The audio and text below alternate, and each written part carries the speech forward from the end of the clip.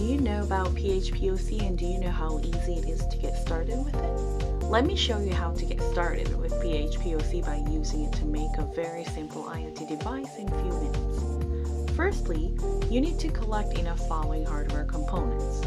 One PHPOC blue or black, and in case you use PHPOC blue, you need a USB wireless LAN adapter. One PC or laptop, one USB Secondly, we need to download and install PHPOC Debugger. This is a development tool used to write and upload the PHPOC script to PHPOC device and it can also be used for debugging. Okay, let's open a web browser and go to PHPOC homepage. Let's click download and tools to download PHPOC debugger.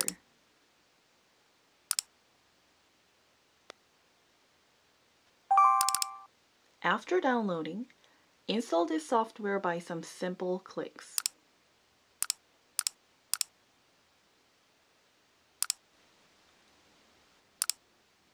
Next step is that we need to connect PHPOC Blue to PC via USB cable.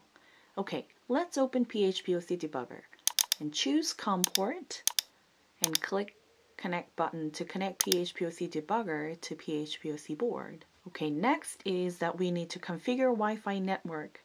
So let's click Setting button on PHPOC Debugger. And you can set static IP address or dynamic IP address here. Navigate to Wireless LAN tab and choose Infrastructure mode and input your Wi-Fi name and password. You can also use the Search AP function Note that if Wi-Fi network is not available, you can choose the soft AP mode to create a local Wi-Fi network. Okay, let's click right button to save the settings. Now is time to write Hello World program. Okay, let's go to File menu and create index.php file.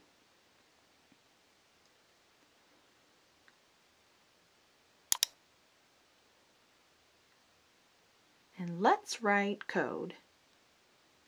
Let's type echo hello world and click save button to save the source code. Now we can access them through web browser and before that we need to know IP address of PHPOC board.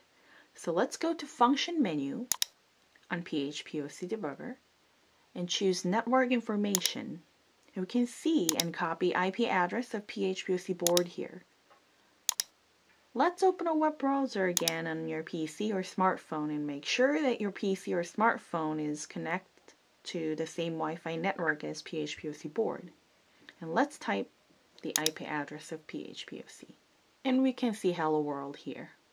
Now, let's try an example of controlling LED via web page. Let's go to phpoc.com and download PSP support package. This package contains a useful library and examples. So after downloading, we need to upload the necessary library first.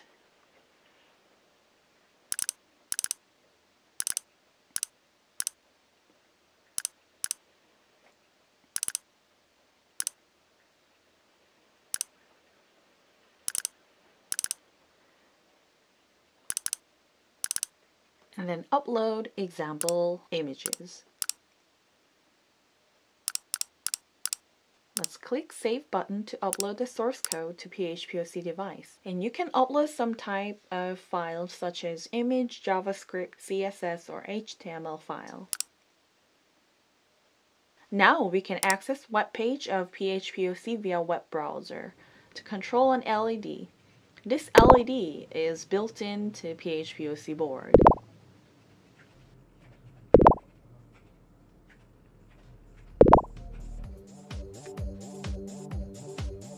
By this way, you can control any devices via web page. These were just simple examples, and there are a lot of examples you can do with great features on PHPOC. So why don't you try it? Thank you!